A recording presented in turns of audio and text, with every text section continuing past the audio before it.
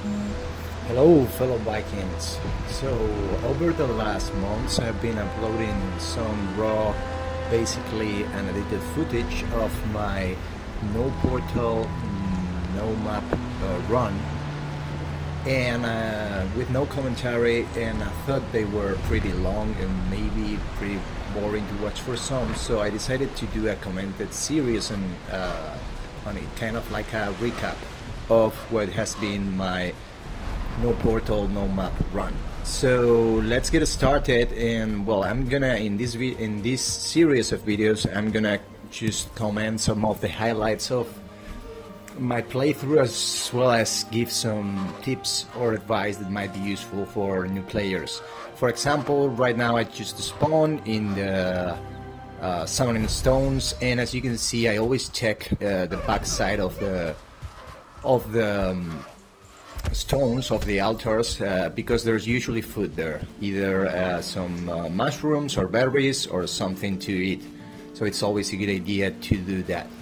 Uh, I wouldn't recommend what I'm doing right now, which is to chase a deer, uh, punch him to death because it's actually quite difficult. It used to be a lot more difficult before one of the updates where they decided to make uh, deer dumber for some reason. I don't know but um, the thing is that I really want kind of like to skip some of the first steps uh, and if I manage to get some uh, deer hide early on it's always a good thing. Anyways uh, I'll probably mm, wouldn't recommend this as it can lead to a waste of time. In this this time I got lucky that the deer was so stupid to get into the water and that way I could punch him to death and get my first piece of deer hide which I will be needing uh, for many things that I need to craft. Another thing that I want to do right away is start picking flint. Well, uh, first off, let's explain what rules I'm gonna be following if I have any mods installed. As you could see now, I, when I picked that flint, several popped. And that is because I'm using one mod only, which is the mass farming mod, which is the only mod that I always use because I think it should be implemented into the vanilla game. I think it's a very good addition. be able to plant in a grid, be able to pick up uh, stuff like uh, one clicking on one in a small and things in the small radius of the same type will pop. So as I'm in the coast, uh, that's a lucky thing. It's a good thing because I chose this uh, seed randomly. And I didn't make a choice and didn't uh, take a look at the web page or anything like that. I just put a random seat and started. So what are going to be the rules? As you can see, I have no minimap on the right top side, which is the usual thing. Uh, you can disable the minimap uh, without having to use cheats. You can just uh, type in the chat box no map and, and the map will be disabled. Both the minimap and the map that you usually access with the key M, eh, with the M key. So as you saw, I also found some mushrooms behind it. At first, another thing that changes in this kind of run is how the Vegvisirs work. At, at this time, I didn't know how they worked, so you could see me there pressing the pressing the stone and, and not knowing what to do or what it meant. So uh, later on, I discovered how they actually work. I, I, had to read about it and, and finally realize how they work. You basically uh, have to interact with the altar, with the sorry, with the Vegvisir, and uh, if you left your you leave your character idle, it will face towards the direction of the boss. Okay, so in this video, I'm gonna be using a lot of these houses it's funny, I'm gonna skip now uh, because we cannot watch the entire footage, but basically uh, I'm gonna make that cabin my mm, first shelter. Uh, there is the mass farming mod right there, and I'm also using render limits in an attempt to make things visible a bit more far. Didn't push it too too much, and I don't think I can tell the difference to be honest, but I did try it. Those are the two only mods. The rest is in uh, vanilla experience uh, with these restrictions of not being able to build portals at all and not having a map or a mini map. And this is a big deal, especially the second part. Some people might think that maybe not having a not having a, a, a portals it's a game changer, and it is. But not having a map is the real deal here. and it makes everything so much harder. You have to keep trace of where you are, where you're going. Uh, you have to make a lot of paths and signs and compasses. So it's actually pretty challenging and it changes the whole experience a lot. So here you can see me picking up flint and wood uh, and that I can find on the ground to craft my my first things. I'm gonna be using that uh, small uh, cabin that uh, we saw there.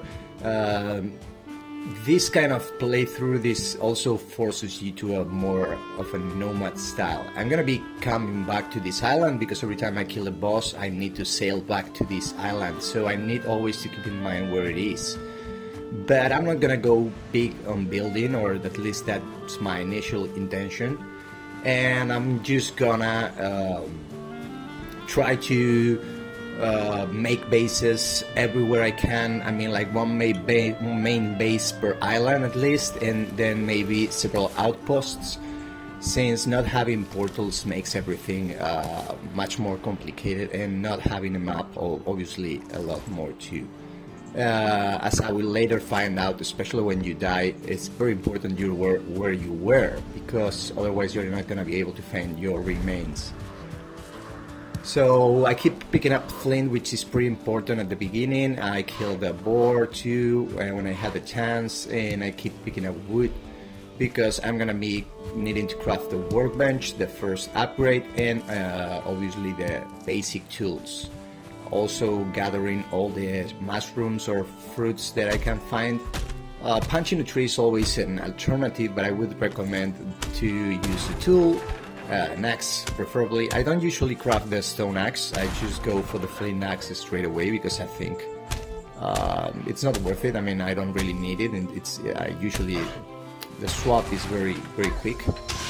So I, I usually go for that first, and I you will realize as we go through this that I like using trolls for labor, especially to get me early on some fine wood and some uh, bronze if I can.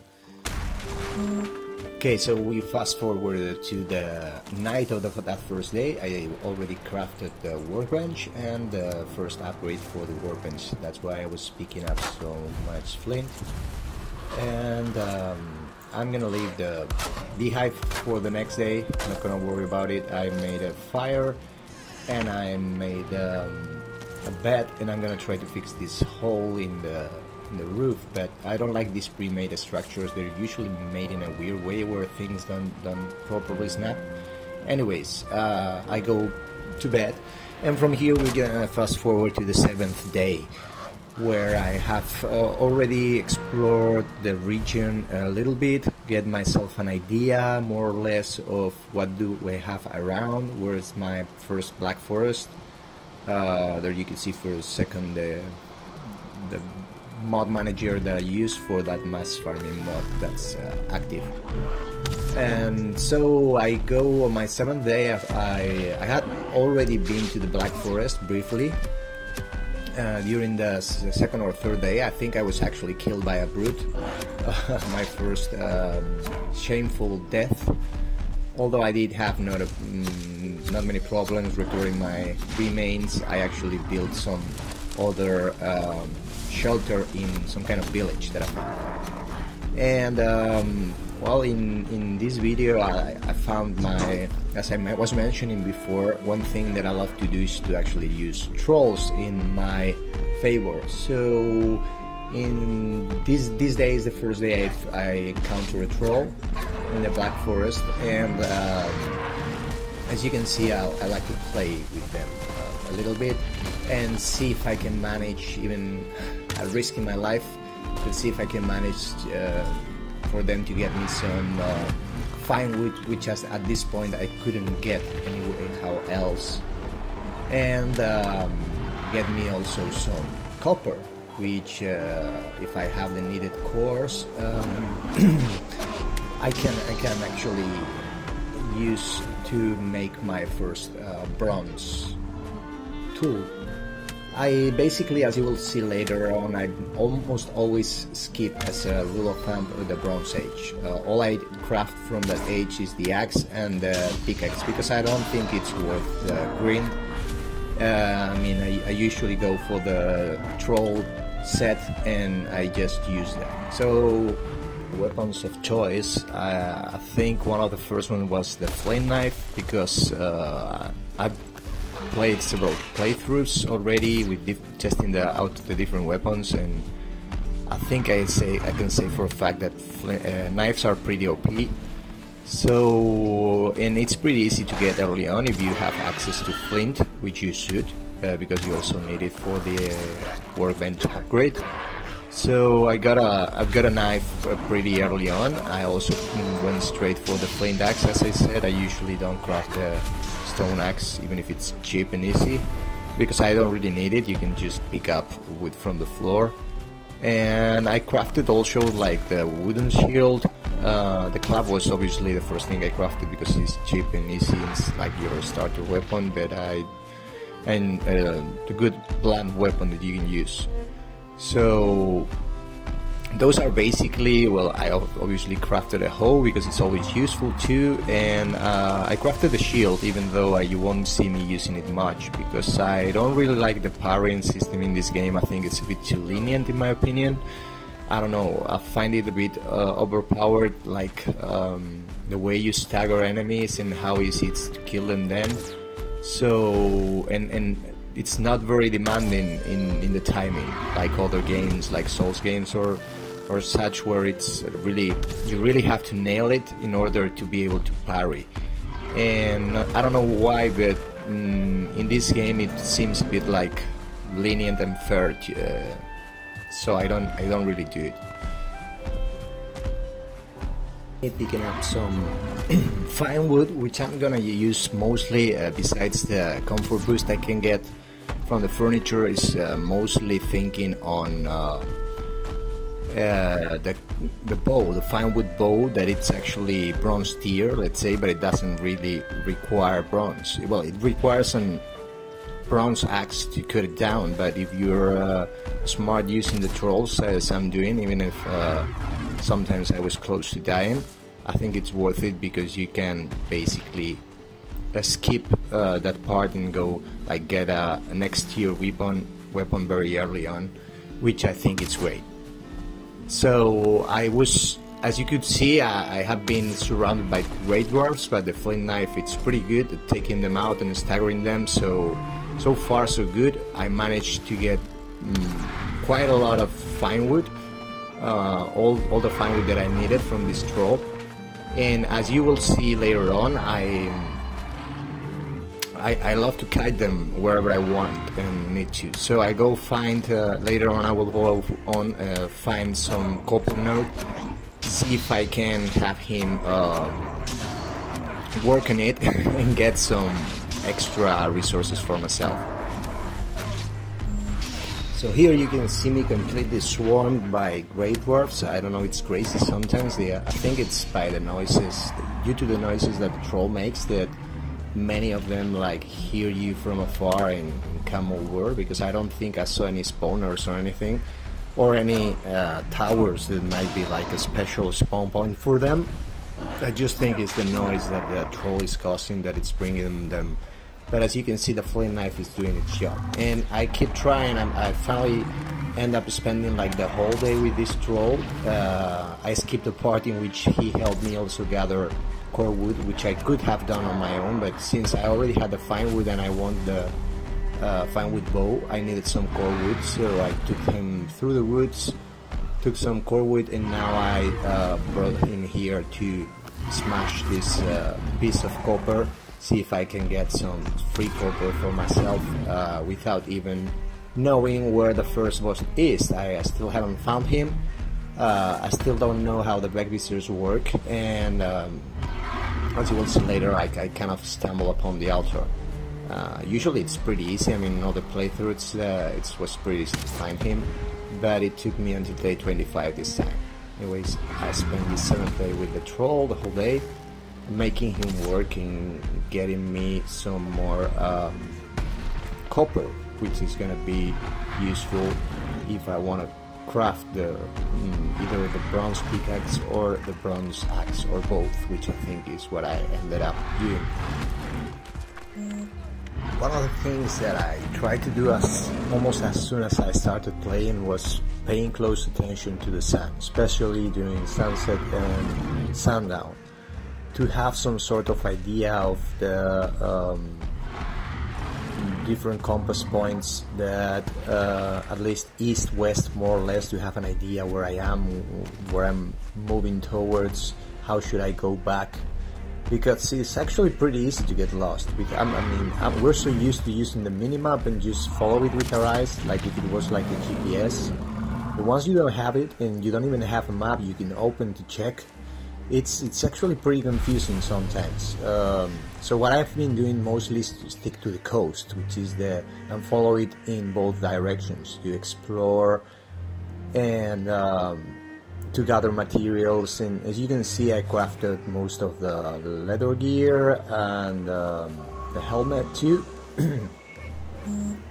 and not knowing how to use the Vegvisirs, as I said before, I happened to stumble upon it and uh, quite late uh, on the night of the day 24th uh, yeah on the, the day 24 uh, so what I had to do obviously was since this wasn't in the coast uh, exactly uh, what I immediately do is to start making a path with the hole towards my base so I can find it whenever I'm able to uh, gather, if I don't have them already, the deer trophies that I need to summon it. And I'm, I'm well, I'm sure I'm well.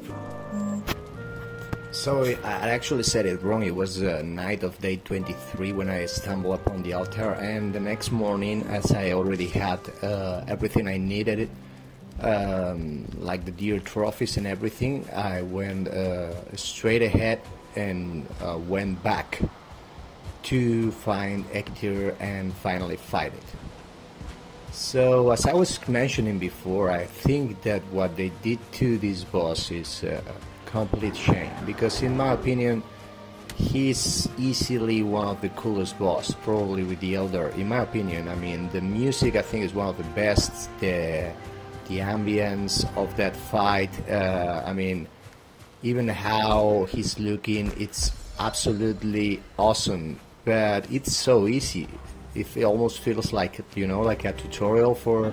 It's like the first boss. I know it should be easy, but it's still too easy. I know. I mean, I've seen people just like punch it to death and make it. A lot of even the devs did it once. So it's actually even if uh, his moves, for example, are pretty telegraphed and I think pretty easy to, to dodge or whatever. Um, it's not even necessary. I mean, you can just face tank it and, and kill it pretty easily, right? So uh, I don't think it's actually that that uh, hard to. I mean, they should have made it harder, in my opinion, if you ask me. Uh, but that's maybe because I love the challenge. I don't know. So I think I've got enough gear to make the sacrifice, and I do so, and so the fight starts. I make sure that I'm recording because I already had problems other times in which I thought I was recording and then I wasn't. And here we've got, I don't know how to pronounce his name actually, it's like Eikthyr or something like that. I don't know, I have no idea to be honest. Uh, my English is not so good and uh, I'm not sure, I mean, that's probably some kind of Nordic language more than English, so I wouldn't, I wouldn't even know how to pronounce it correctly. So with the knife, I mean with the flint knife, with level 2 if I'm not mistaken, as you can see it doesn't take long to actually kill it. I mean, I know there are easier, faster ways, cheesier ways, you know, like uh, uh, fireplaces. I could fireplace him and, and kill it much faster. But I just thought I would fight him with a knife, because I think I've never done so before. I always try to try new things. I think in my last playthrough it was the spear I was focused on. And I don't know this time to be honest I really uh, wanted to get over with pretty uh, fast. And as you can see I'm, I'm barely taking any damage. He's uh, down to half, half his health. And it's actually pretty pretty easy to to be done with this boss. Even if you take you can see there he made like the heavy attack. I just stand here and I didn't take almost any damage. So as long as you are eating eating decent food for this level for this tier, which is very basic, obviously. And uh, it's pretty easy. I mean, not to die uh, at all. I mean, it's a boss that I, as I was saying, I don't think it would hurt anyone if they made it a little bit more difficult. I'm not saying to make it super hard or super boring or damaged sponge. I don't think that's because that's what I feel they've done with other bosses. I feel more than difficult, they made them boring. Like it takes a long while to to take all their health. You know what I mean? But this one, I mean, not make it more beefy, just make it his his attacks a bit more powerful, so it's more important to actually dodge. Anyways, it's done. I've got the antlers. Now I can mine my own bronze if I want to, or uh, even if I got the troll to do so, and I, mm, later on will have him get me some uh, tin too. And uh, once I've got the head, the first thing I need to do obviously is go back. as you can see, I have already some uh, some in my, uh, some tin in my inventory thanks to thanks to a troll probably and um, I made my way back uh, as you can see I made paths to the sacrificial stones or spawning stones. And there I hang the head so I've got the Eikthyr power which is gonna come in super handy in this kind of playthrough as I'm gonna have to be running around a lot. Since I don't I cannot craft any portals that means sailing and walking a lot and making many paths not just compasses as I mentioned before here you can see I've got this path that leads to uh, both of my villages. Uh, that thing that you see over there that it's uh, made of wood it's also some uh, signpost I made with uh, basic with the coordinates with the basic directions like east west and here right right next to the altar is one of my uh, shelters or bases. I have another one as I said in a different village which is close to the Black Forest. But this is kind of like my main one. And that was all for this first episode. I'll probably do another one of the next until the next boss. So thank you very much for watching and if you made it this far and you like the content, please give me a like and maybe click on that bring button. See you next day.